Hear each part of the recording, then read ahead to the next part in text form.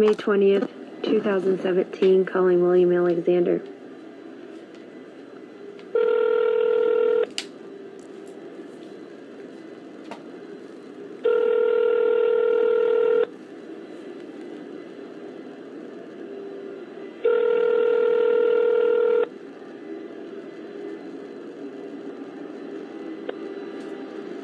You have reached voicemail for the office of the Honorable Judge William Alexander, Division 504 of Pueblo Combined Court. We are unable to take your call because we are either in court or assisting another customer. Please leave a message, including your name, case number, and telephone number. Your call will be returned as soon as possible. Thank you. Please leave a message at the tone. When finished, you may hang up or press pound for additional options. Hello, William Alexander. I know this is Saturday. It's May 20th, 2017, but I wanted to uh, contact you and let you know that I opened my mail, and uh, Deborah Eiler is uh, tampering this case and uh, depriving my rights to being heard with my filings, the police reports, and numerous filings filed into this case to prove the exuberant amount of constitutional violations conducted in 15 CR 1287. Deborah Eiler has followed up with unconstitutional uh, letters stating she's depriving my rights, in essence, of determining that she's going to determine what goes into the case record, which she cannot uh, violate my exculpatory evidence rights to proving the duress, the terrorism, the uh, cruel and unusual punishment and treatment. This is a violation, and it's an automatic mistrial in appellate court for what is occurring.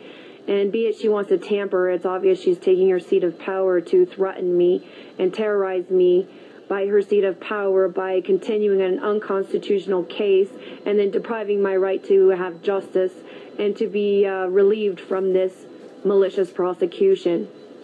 And you guys need to cease and desist. This is unacceptable. This is a levy for war, and I do not appreciate you putting all of our citizens in life threatening dangers of having bombs thrown at our country over something like this that Hitler did. This is not a joke.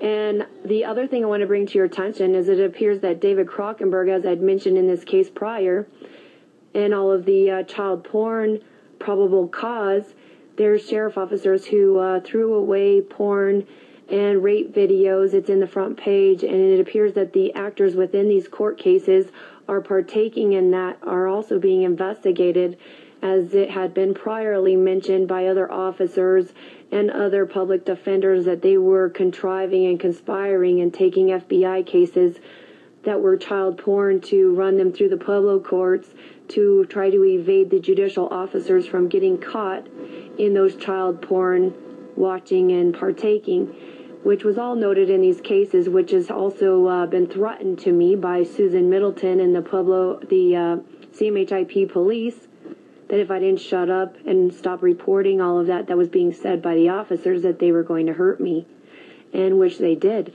So I'm bringing that up. That was in the paper, and it shows that uh, that definitely has the officers in judicial seats in a probable cause being uh, suspicious, suspicious suspects to aiding that officer in the disposal of uh, illegal pornography.